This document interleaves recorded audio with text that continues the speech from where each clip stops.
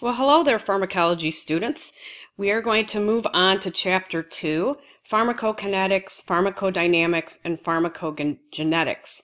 So to make this easier in small spurts, uh, as most of us have attention span of an average of eight seconds, um, this is a true fact based on research. So what I like to do is break this up. This definitely is not the most fun part of uh, pharmacology, that's for sure, right? We want to get right to the drugs. Um, but we need to know the background of what happens when you take a drug, what happens to the drug, and what happens to the body. So that's a difference between pharmacokinetics, pharmacokinetics, and pharmacodynamics. Kinetics is our what is the drug doing in the body, how is it being metabolized, etc. And then the pharmacodynamics is actually what is happening to the body when you take the drug. So first I'm going to just do a slide set on pharmacokinetics. Uh, I will keep the same slide set all together, so when you print it out, you will print it out all at once. You can change the uh, to a plain background or however you want to do it to help with ink. Uh, so that's why I don't put it in a PDF format. All right, so fun, fun. The other way to, um, I like try to make my slides organized, meaning I like color because I feel like it uh, sticks better in your mind. So when you look at pharmacokinetics, I have uh, it in the orange, and then when you get to the pharmacodynamics, I have blue. All right, and the pharmacogenetics is just one slide, and it is red. Okay, so what is pharmacokinetics, which I just said? It's the pro it's a process, and I'm going to go through the process with you. So go ahead and take notes, whatever you have to do.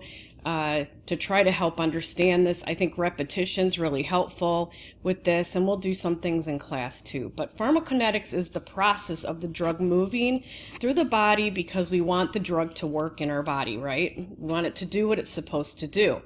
So this is also um, to help you try to decipher in your head what is what. So the four there's four processes that go into the pharmacokinetics, how the drug is uh, um, taken and then moved through the body. First, it's absorption, distribution, metabolism, excretion. So anytime you see absorption, it's an orange. Distribution's in blue. Metabolism is well, supposed to be purple.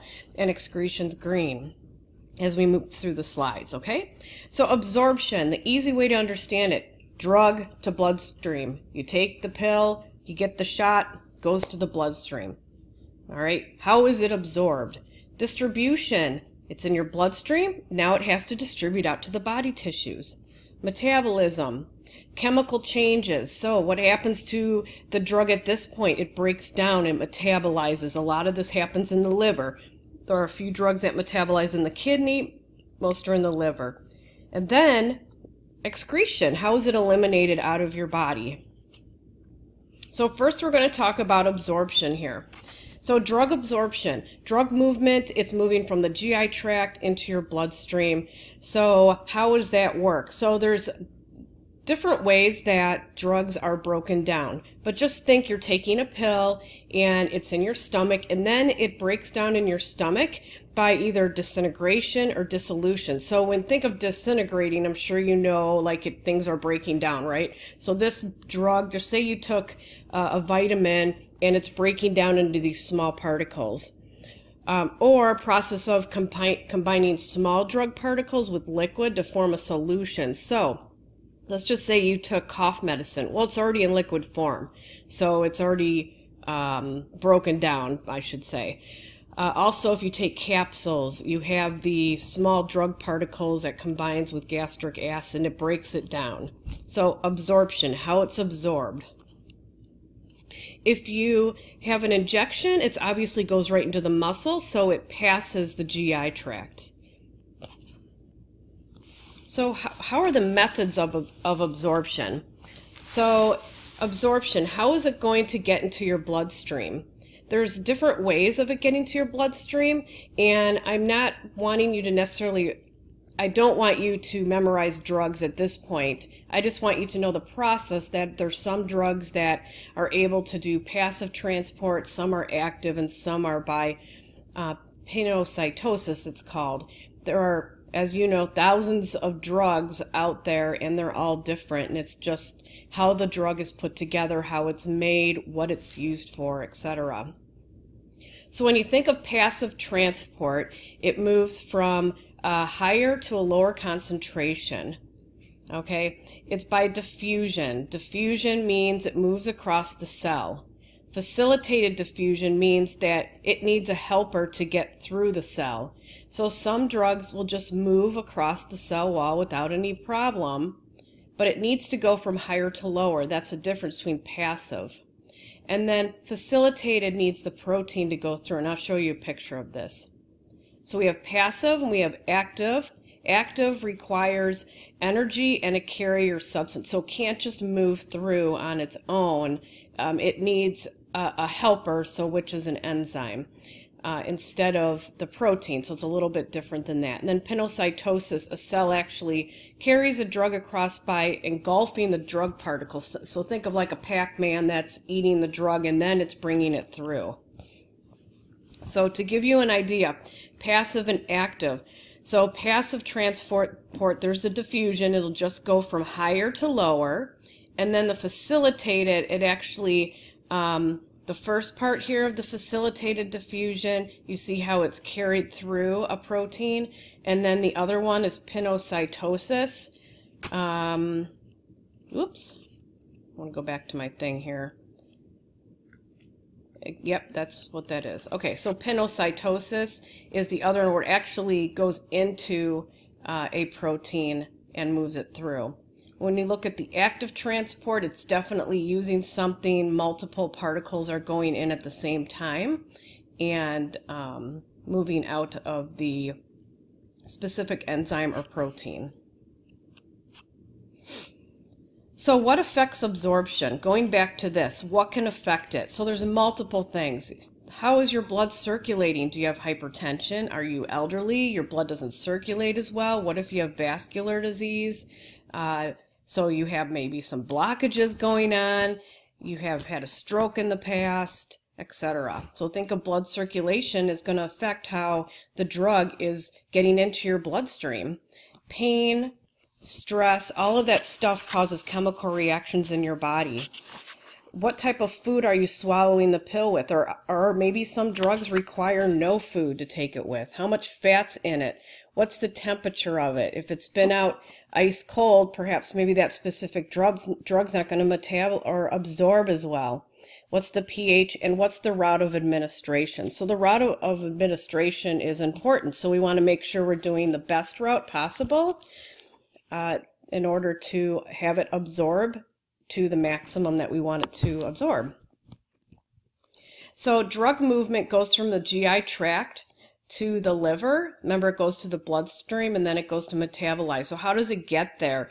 It goes through the portal vein that um, connects the GI tract to the liver and first pass effect. Now, first first pass effect just means how um, it's metabolized. So for example, so most oral drugs are affected to some degree of first pass effect. So lidocaine, some nitroglycerins, for example, are not given orally because they have really high first pass metabolism. So most of the drug would be inactivated. So when you do a nitroglycerin, you do it under the skin, for example uh, or I mean under the skin, under the tongue. So that's how it's going to absorb better than uh, by taking it by mouth because they found that if you take the nitroglycerin by mouth, it just is going to rush through your body and it's not going to really absorb into your bloodstream or um, even work. And lidocaine, there's no lidocaine pill out there because they've found, and all these are done through studies, that it goes through your mouth down to your stomach and it really doesn't do much to metabolize, it just passes through. So that's what first pass means. So every drug goes through a first pass, but some are metabolized or absorbed in the body better than other ones. So I hope that makes sense to you. And now we're going to talk about bioavailability. So what's the percentage of the drug that you're taking that's going to be effective? So every single drug that you take so let's just say, for example, I take um, a Pepcid for my stomach. All right, that's for helping reduce acid. Let's just say I take that, that pill. You think that 100%, you're going to take that and 100% of the drug in there is going to uh, activate, but that's not true. So most, um, I would say 99% of the drugs that you take by mouth are always less than 100%. And again, the biovil bioavailability means that um, what is the metabolism like of this drug? So going back to the nitroglycerin, it just goes right through your body. So the bioavailability is going to be really low.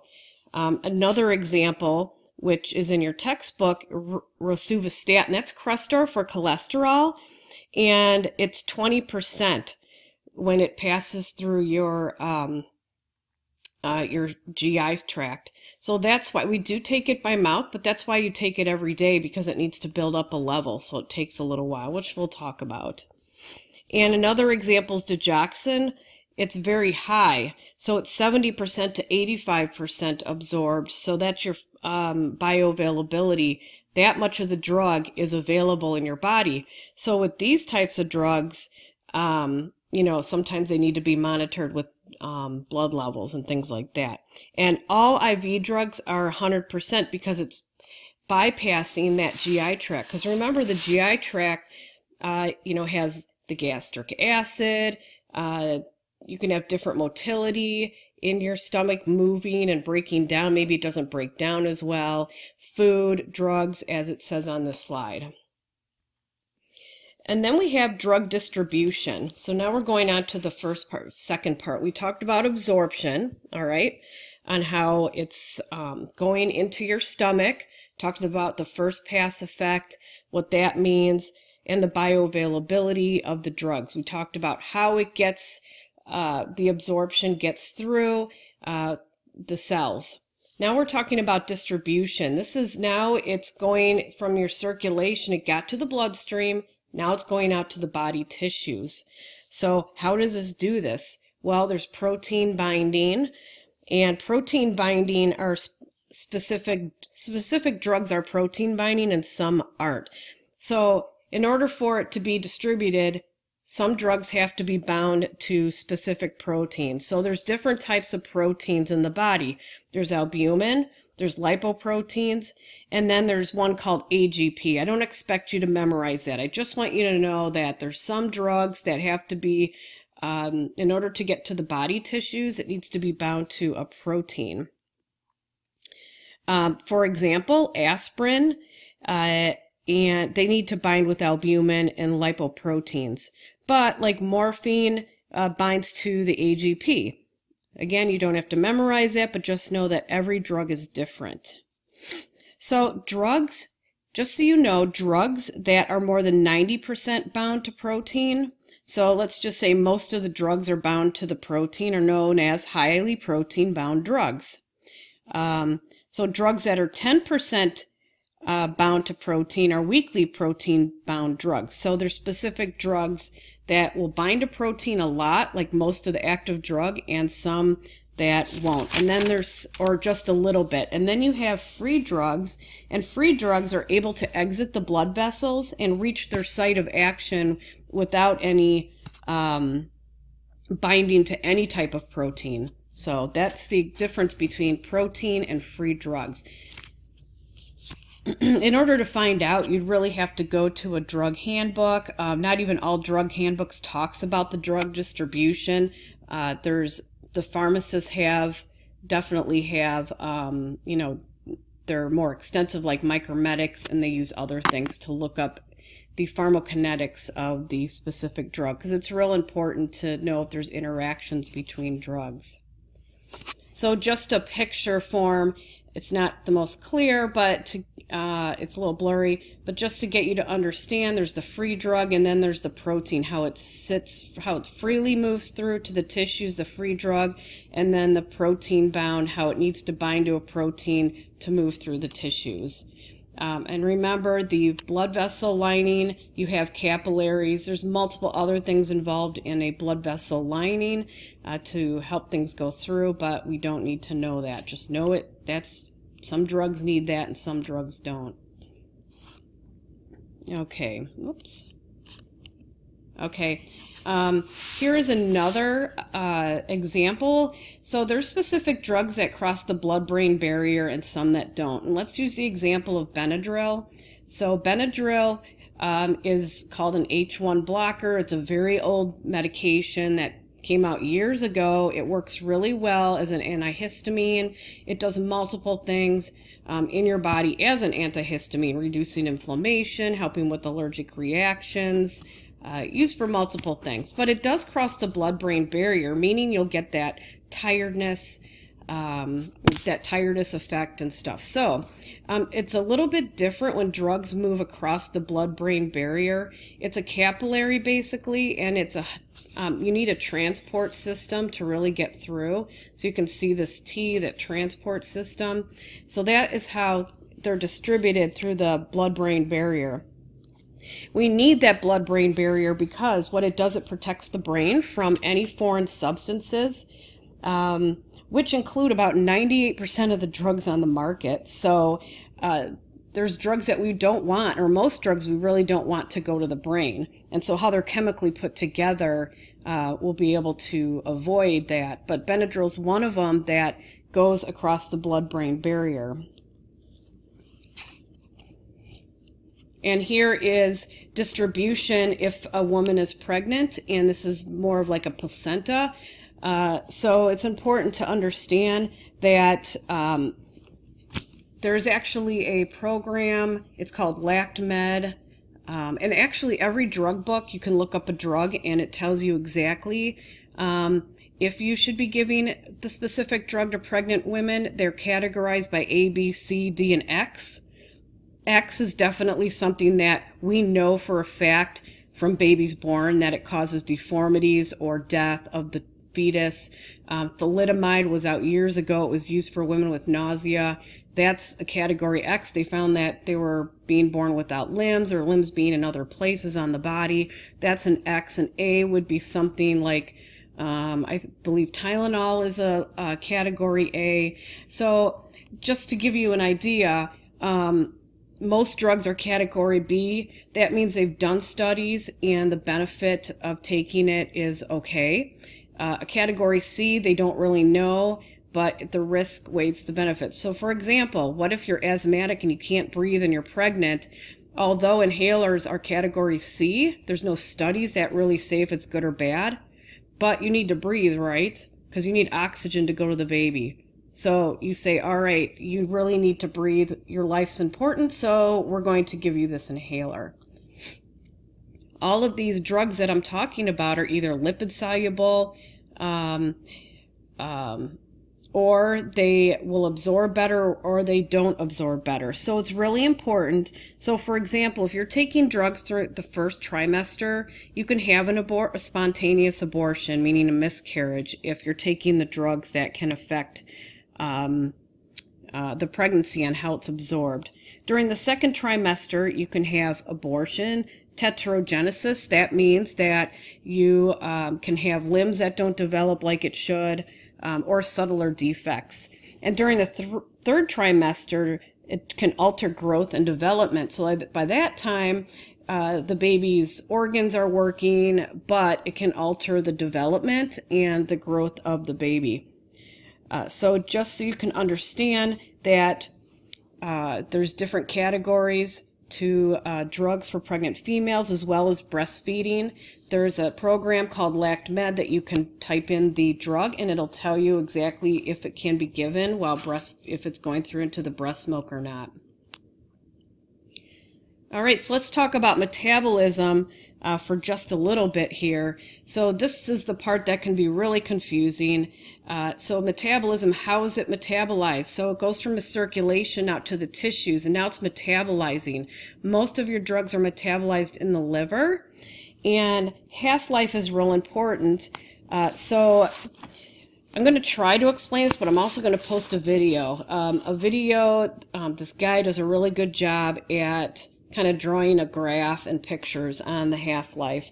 So a half-life is the time it takes for the amount of drug in the body to be reduced by half. All right, so Um, for example, you take a drug, uh, I'm going to take ibuprofen, and let's just say within one hour, it's um, at the highest that it can be. It's peaked. Think of a graph and it's gone up. Like think of a bell curve, but the curve's going to look different. It'll be at the highest point. All right, so that is the highest concentration. Remember I said that it's rare that any drug is 100%, so it's not. So it's a little below the 100%, let's just say. Well, then the half-life is, is how long is it going to take for that drug to be reduced by half? So that's what's measured. Um, and it's done through, obviously, um, studies, research. And so you take that drug and let's say within one hour, that curve starts going down to half of what it was. Okay, so that what that's what the half-life means. Um, so there's a lot of things that can affect it, like your metabolism, um, previous doses. Have you take those before? Because there could be still a little bit in your system, and then you take more. Elimination effect. How is it eliminated? Uh, for example, if you have liver or kidney issues, the half-life of the drug is prolonged.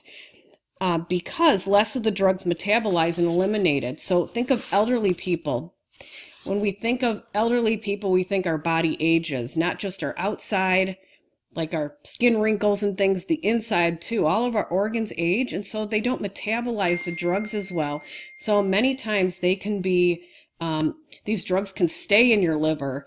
And then if you keep taking it every six hours or eight hours, it's going to build up in your system. And then you can end up with kidney failure, liver failure, liver issues. That's why it's so important with a lot of these drugs to monitor with labs your kidneys and your liver, depending on um, if you're taking that. So, okay, and um, so by knowing the half life, the time it takes for the drug to reach a steady state, and so that's like the actual state that we want the drug to be in, that will help it um, be determined by determining the half life. So the steady state is when the amount of drug uh, being administered in the state same as the amount of drug being eliminated. A steady state of drug concentration is necessary. So it takes about four half-lives if all the doses is the same. For example, digoxin has a half-life of 36 hours with normal kidney function. And it takes six days to reach a steady state of concentration. That's why these drugs um, aren't just eliminated or excreted through your body with one dose. It reaches a steady state. That's why you have to keep taking it, um, you know, once a day or however which drug um, asks you to take it twice a day, it just depends on the drug. So there is something called a loading dose, and these are with drugs that have a very long half-life. So it may not be acceptable to wait uh, for a steady state to be achieved. So let's think of um, Dilantin or Phenytoin. That is for seizures. Uh, so we want the patient obviously to start working right away. So we will give them a loading dose so we can get that at least therapeutic level going until it reaches that steady state. So there's multiple drugs that um, will end up um, uh, we could do that with. Think of a Z-Pak, azithromycin, the antibiotic. That's the same thing. So it's given a loading dose because it has a really long half-life. Remember, it stays in your body for 10 days, even though you take it for five days. Then we go to the last process of pharmacokinetics, and that's drug excretion. How is it excreted? Through the kidneys. The kidneys um, how are they working? So if your creatinine clearance is normal, your BUN, which is the blood urea nitrogen, and your glomerular filtration rate, the GFR, then you can assure that the excretion is going to um, be normal uh, or excrete out of the body like it should.